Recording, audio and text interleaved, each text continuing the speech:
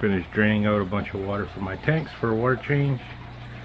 Maybe I should have took a little more from that, but you know, it's a pretty new tank, doesn't really need that much yet. 10 gallons and a little bit of water. Even the betta bubbles get halfway. You see the water's double changed there. Fill this bottle, uh, barrel early. And then I got a big pump in the bottom of it, hose, and all I do is hit the old switch here. Turns the pump on. Dumps the water down the hose. and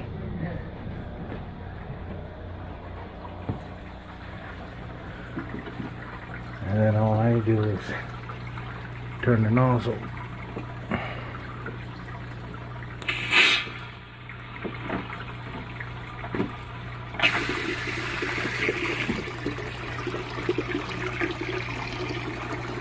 like that. And I fill up my tanks. One at a time. With the smaller tanks I only turn the nozzle a little bit.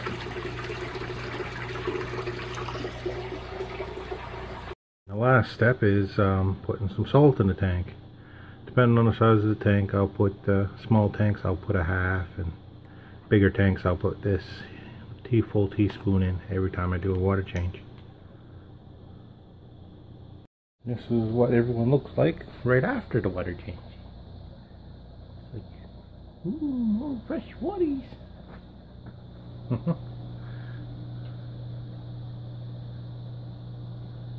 yeah, happy in here.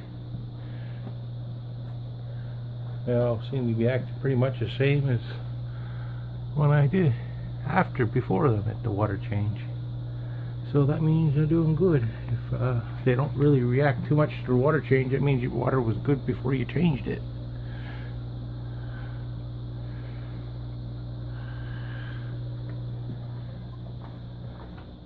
And the bettas are good. And Fred and Wilma, them really enjoying this five gallon tank. It's a lot better than what I had in that three gallon over there. Yeah, they move around a lot more.